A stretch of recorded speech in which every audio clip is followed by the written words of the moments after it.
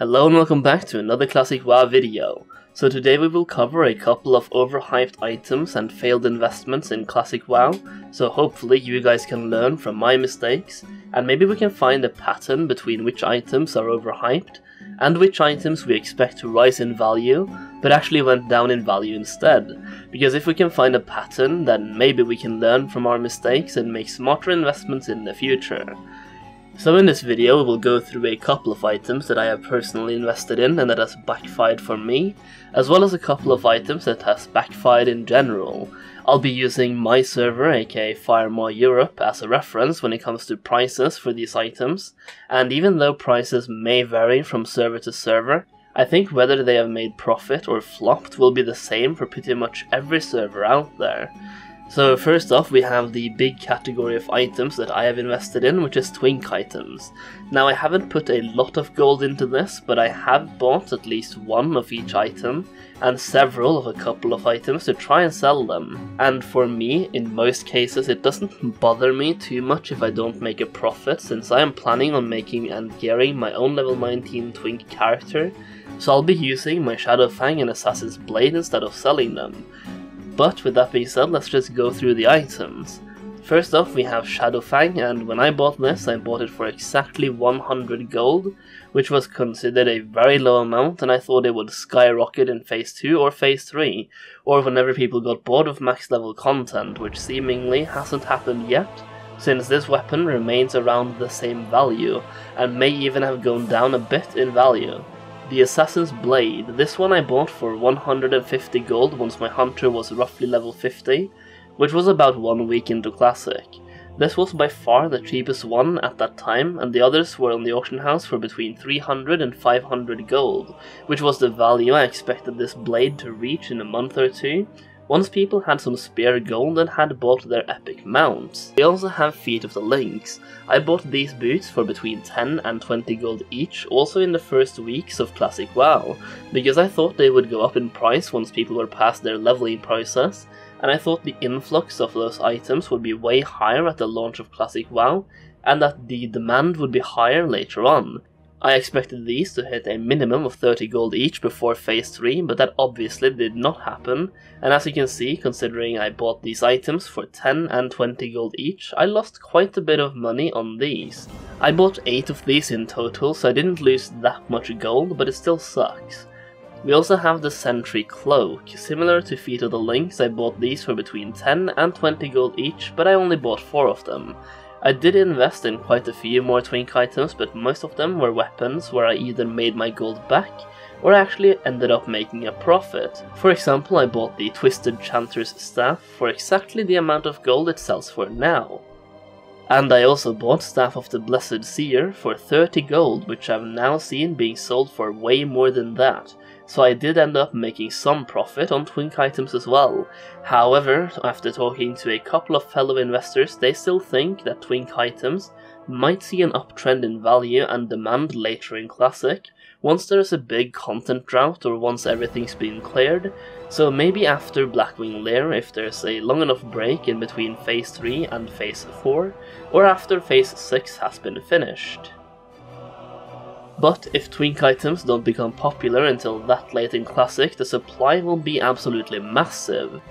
So I wouldn't count on making too much profit on these items. Now for me, since I am planning on leveling and gearing my own level 19 rogue, I can use the Shadowfang and the Assassin's Blade, as well as one Feet of the Lynx and one Sentry Cloak myself, which again minimalizes the gold I lost on these investments. Next up, let's talk about a couple of materials, since that's the category I think most people are investing in, since materials are used by pretty much everyone in Classic, as they're used for pretty much every profession out there.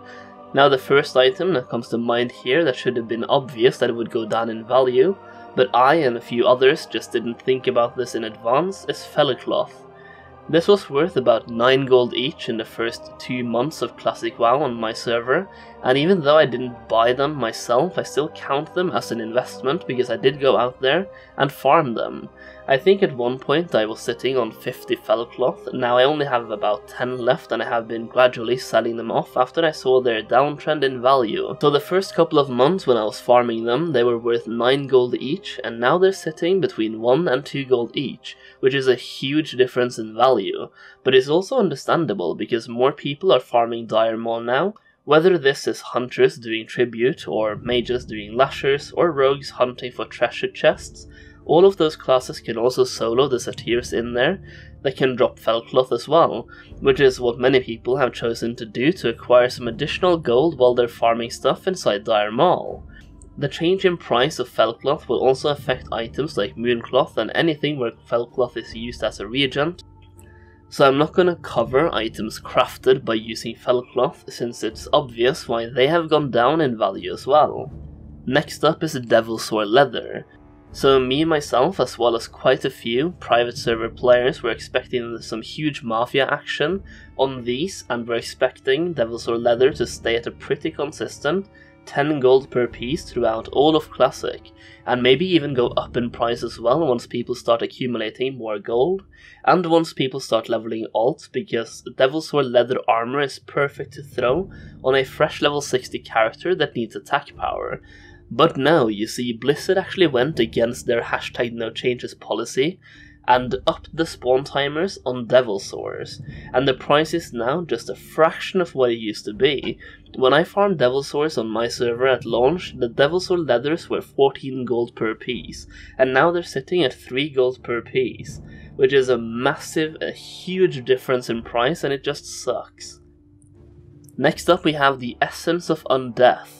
Now this is an item that may not have gone down that much in value in terms of the amount of gold, but if we look at it percentage wise it has dropped by quite a bit. The first month of Classic this item was sitting at 4 to 5 gold each on most realms, and since around late September to early October it's just been going down and down and down. Obviously, it was inflated with very high prices early on because not a lot of people are that high level that fast, but even throughout the entirety of October, this item was sitting at 2 gold each, and now it's down to roughly 1 gold each, which is a shame, really. Now, this item was supposed to go up in value because of Robe of the Void and Robe of the Winter Night, both of which being great robes for warlocks,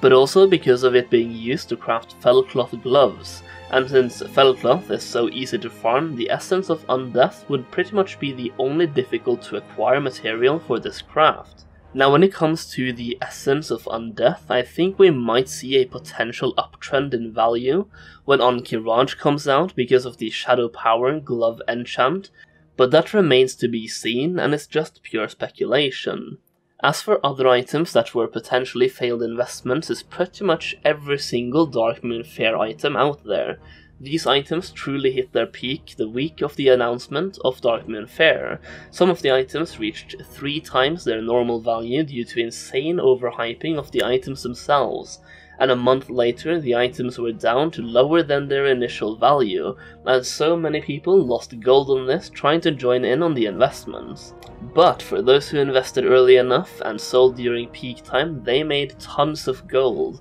As for everything when it comes to investing, it's all about buying and selling at the right time, and you'll pretty much always make profit. But the line between profit and loss is so thin, and if you wait a couple of days or a week too long, you can get screwed.